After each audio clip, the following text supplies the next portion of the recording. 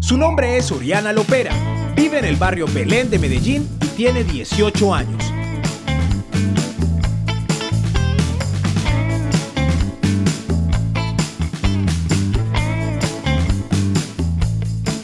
Es aficionada del anime y de la cultura asiática en general. Está próxima a terminar el colegio y quiere estudiar medicina.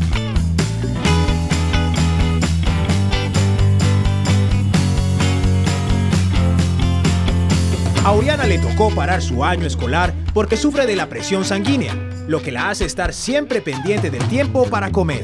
A además le encantan los cómics y también ama los videojuegos, más exactamente los juegos de rol. Pero ella tiene una regla.